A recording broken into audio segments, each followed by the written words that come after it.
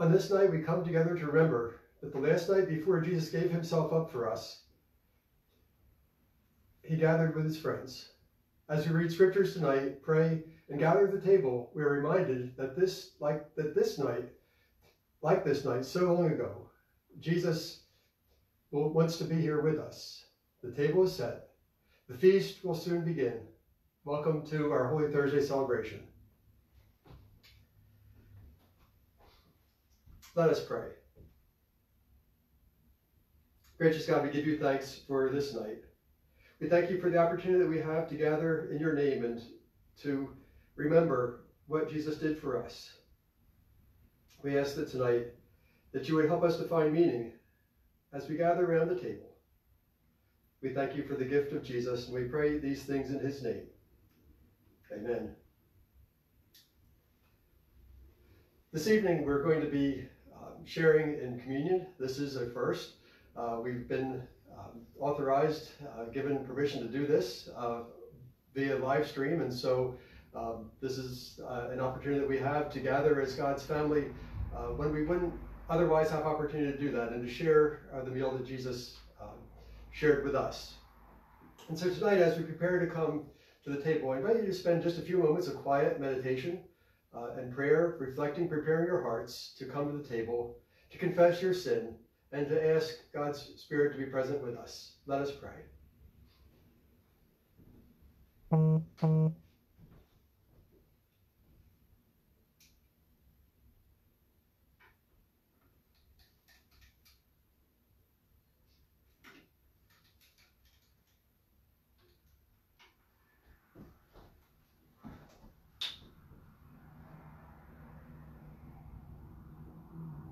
Holy and merciful God, we come tonight to repent for the times that we have failed to show love, for the missed opportunities as well as the times we have done harm.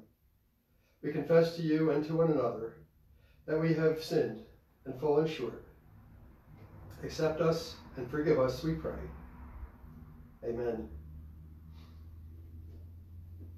Tonight, as we prepare to come to the table, I want to share a couple scriptures with you. Uh, the first one is from Exodus, it's chapter 12, verses 1 through 13. This is the story of um, the Passover. The Lord said to Moses and Aaron in the land of Egypt, This month shall mark for you the beginning of months. It shall be the first month of the year for you. Tell the whole congregation of Israel that on the tenth of this month they are to take a lamb for each family, a lamb for each household. If a household is too small for a whole lamb, it shall join its closest neighbor in obtaining one. The lamb shall be divided in proportion to the number of people who eat it. Your lamb shall be without blemish, a year old male. You may take it from the sheep or from the goats. You shall keep it until the fourteenth day of, the, of this month. Then the whole assembled congregation of Israel shall slaughter it at twilight. They shall take some of the blood and put it on the two doorsteps and the lintel of the houses in which they eat it. They shall eat the lamb that same night. They shall eat it roasted over the fire with unleavened bread and bitter herbs. Do not eat any of it raw or boiled in water, but roast it over the fire with its head, legs, and inner organs. You shall let none of it remain until the morning. Anything that remains until the morning you shall burn. This is how you shall eat it. Your loins girded, your sandals on your feet, and your staff in your hand. And you shall eat it hurriedly. It is the Passover of the Lord. For I will pass through the land of Egypt that night, and I will strike down every firstborn in the land of Egypt, both human beings and animals. On all the gods of Egypt I will execute judgments. I am the Lord. The blood shall be a sign for you on the houses where you live. When I see the blood, I will pass over you, and no plague shall destroy you when I strike the land of Egypt. May God add understanding to our hearing tonight of his word. Going to uh, share a hymn uh, with you. This is um, a favorite of many of yours, and it's certainly an appropriate hymn for tonight. It is In the Garden. Um, and this is by uh, Pastor Sue Ah. And uh, it's been shared with us on our conference website uh, for use tonight. And so you'll hear uh, In the Garden sung as you know it and as you have sung it, but you'll also hear it sung in Korean. And that's a reminder that as we share together uh, tonight, we gather with brothers and sisters around the world um, to share this holy meal. And as we remember Christians who are struggling around the world with uh, the coronavirus and uh, the things that our world is dealing with, may hearing the words of uh, another language draw us closer to each other and to the Lord.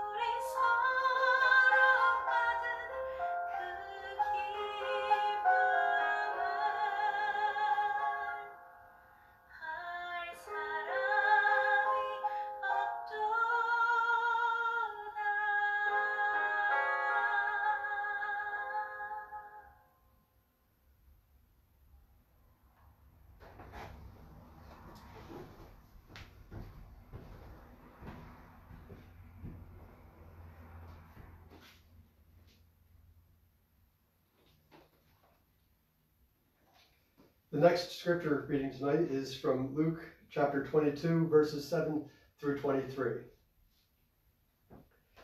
Then came the day of unleavened bread, on which the Passover lamb had to be sacrificed. So Jesus sent Peter and John, saying, Go and prepare the Passover meal for us, that we may eat it. They asked him, Where do you want us to make preparation for it? Listen, he said to them, When you have entered the city, a man carrying a jar of water will meet you. Follow him into the house he enters and say to the owner of the house, The teacher asks you, Where is the guest room where I may eat the Passover with my disciples? He will show you a large room upstairs, already furnished. Make preparations for us there. So they went and found everything as he had told them, and they prepared the Passover meal. When the hour came, he took his place at the table, and the apostles with him. He said to them, I have eagerly desired to eat this Passover with you before I suffer. For I tell you, I will not eat it until it is fulfilled in the kingdom of God. Then he took a cup, and after giving thanks, he said, Take this and divide it among yourselves. For I tell you that from now on I will not drink of the fruit of the vine until the kingdom of God comes. Then he took a loaf of bread, and when he had given thanks, he broke it and gave it to them, saying, This is my body which is given for you. Do this in remembrance of me. And he did the same with the cup after supper, saying, This cup that is poured out for you is the new covenant in my blood. But see, the one who betrays me is with me, and his hand is on the table. For the Son of Man is going as it has been determined. But woe to that one by whom he is betrayed. Then they began to ask one another which one of them it could be who would do this. This is the word of the Lord. Thanks be to God. Tonight, I want you to just take a few moments to imagine yourselves at that table. Uh, picture in your mind, if you will, had we been able to gather together, you would have seen um, us portray what that meal would have looked like, and we're hoping to be able to do that again, uh, or not do it again, but do it next year uh, for you um, when all this uh, all this new normal uh, goes away. But tonight, I want you to just try to imagine being there at that table. And you've heard the story tonight of, of the Passover, of what happened uh, as the people of Israel were still enslaved in Egypt and they were being set free. They were um, going to be uh, driven out of Egypt by Pharaoh because of the plague of uh, the firstborn son um, dying.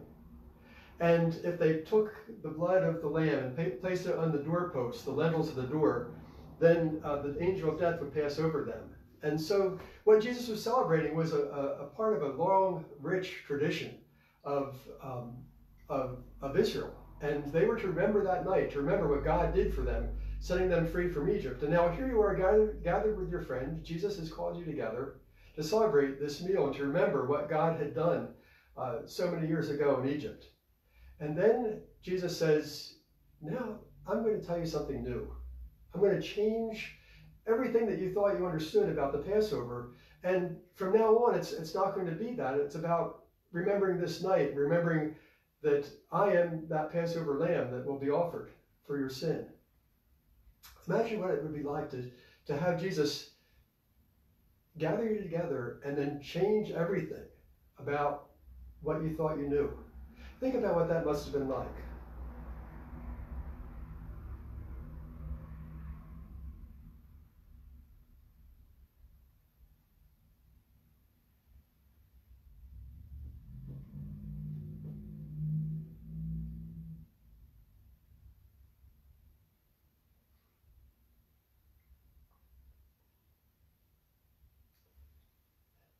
Some of the words that Jesus said were that this is the new covenant in my blood poured out for you and for many for the forgiveness of sins.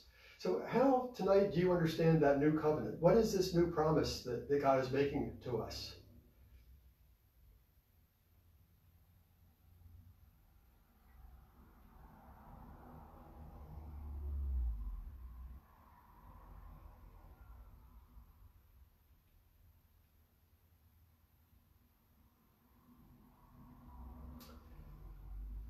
The last thing that I want us to think about tonight as we prepare to come to the table is that Jesus tells us, tells us to do this in remembrance of me. Why is it important for us to remember? Why does Jesus need to tell us to remember? I think if we look at the people of Israel, they uh, very quickly would forget what God had done. You see that as you read through the Hebrew scriptures. Time and time again, uh, the people of Israel would wander away and, and forget that God was the one who had saved them, that had brought them out of Egypt and offered them uh, to be a, a, people in a land flowing with milk and honey, and the way that He blessed them. And so they would go for a while and they would forget and they would turn to other idols, and, and then God would remind them uh, that they needed to come back.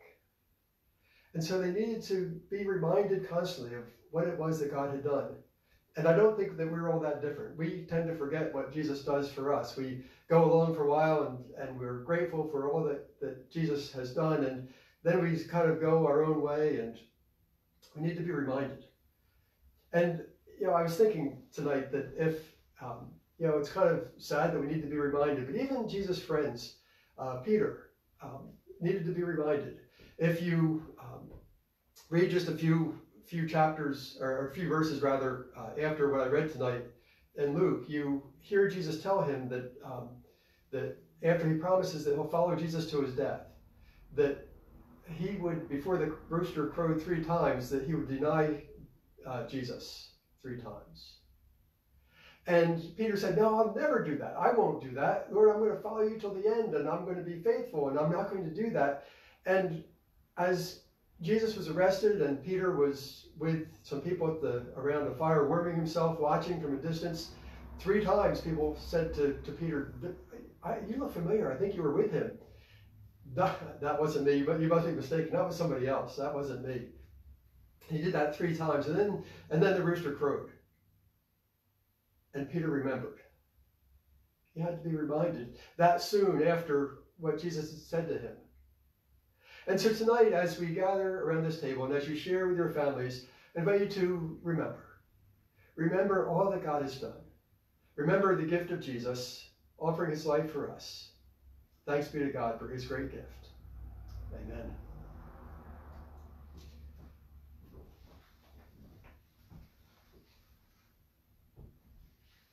So tonight I hope that you have your your your bread and your juice or water or whatever it is that you have gathered um, together in front of you.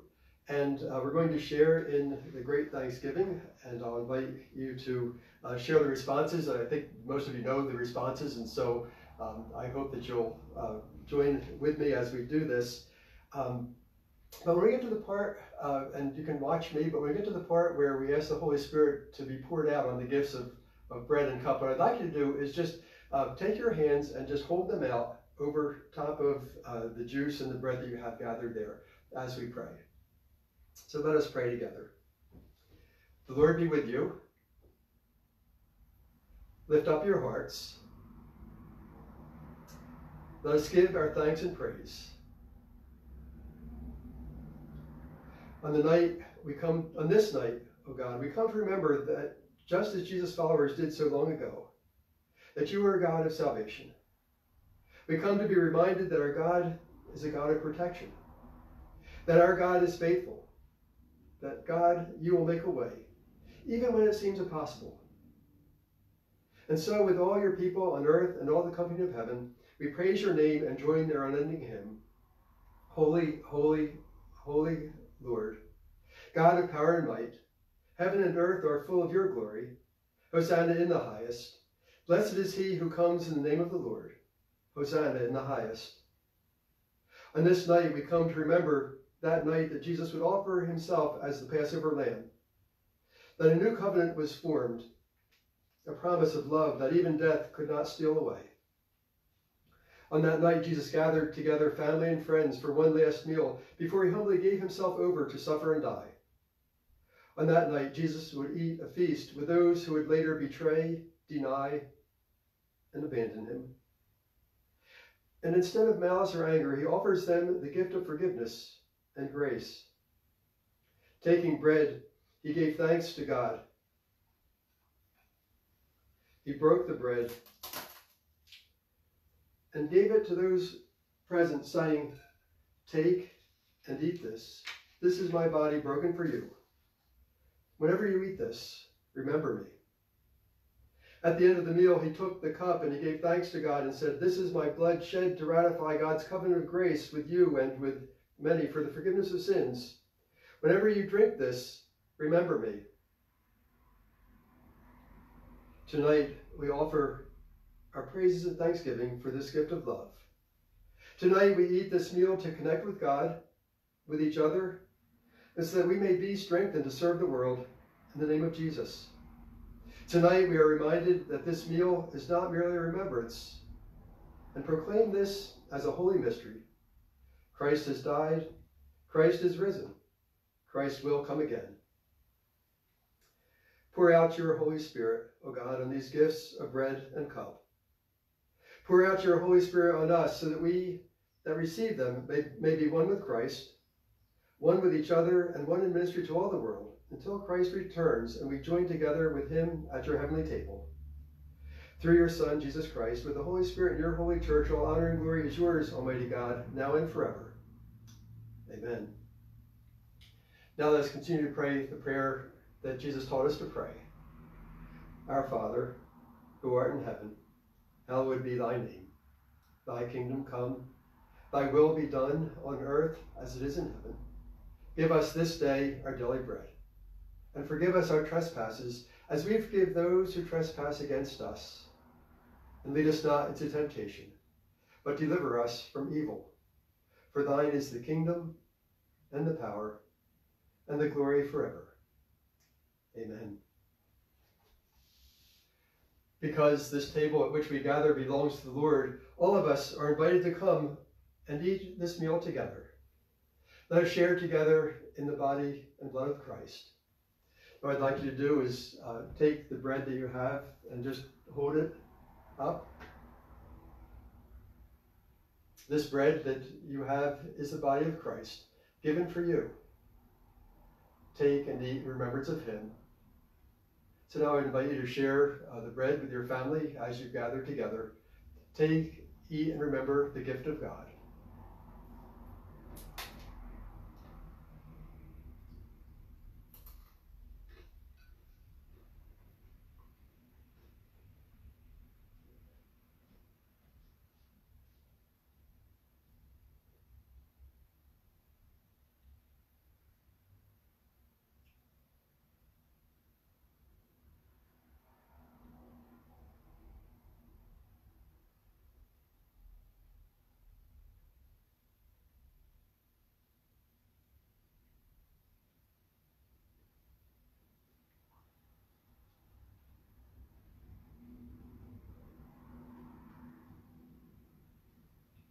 Now I invite you to take the juice or the water that you have prepared. This cup is, Jesus says, the cup of a new promise, a promise of God's love for us, poured out for Jesus when he offered his life. Let us give thanks and take and drink.